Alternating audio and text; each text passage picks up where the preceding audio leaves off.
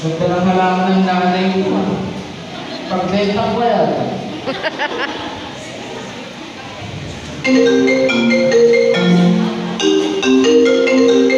Hello? Ay, wala ko pala. Hello? Yo, pre, saan ka ka? Ah, di na ako sa bahay. Klaro kong bentaring alam mo na lang. Yan, ah. Nagpupunta tayo, sama ka ka? Sa... Doon, sa party ni Paring Erwin. Ay, siyempre ko na. Di ako pwede kumula diya. Ah, dito lang ako sa wala bahay tayo ako bababa.